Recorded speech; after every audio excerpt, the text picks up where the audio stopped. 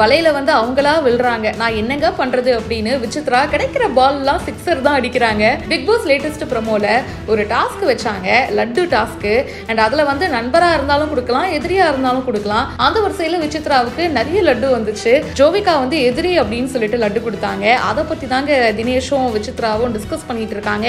நான் என்னங்க பண்றது? வலையில அவங்களா வந்து விழுந்து மாட்டிக்கிறாங்க. அவங்கள நான் கேம் விளையாடுறது இல்லைன்னு சொல்றாங்க. இதெல்லாம் நியாயமா சொல்லுங்க.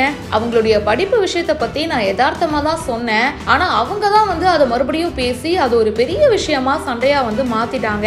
ஜோவிகா இப்போ ஒரு பாய்சனஸ் ரிலேஷன்ஷிப்ல இருக்கா. டாக்ஸிக் பீப்புளோட இருக்கும்போது இந்த மாதிரி தாங்க யோசிக்க தோணும் அப்படின்னு விசித்ரா தினேஷ் கிட்ட சொல்லிட்டு இருக்காங்க.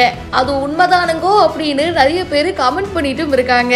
அந்த டாக்ஸிக் பீப்புள் அப்படின்னு விசித்ரா குறிப்பிடுறது மாயா பூர்ணிமா இந்த கேங்க தான் வந்து விசித்ரா சொல்றாங்க.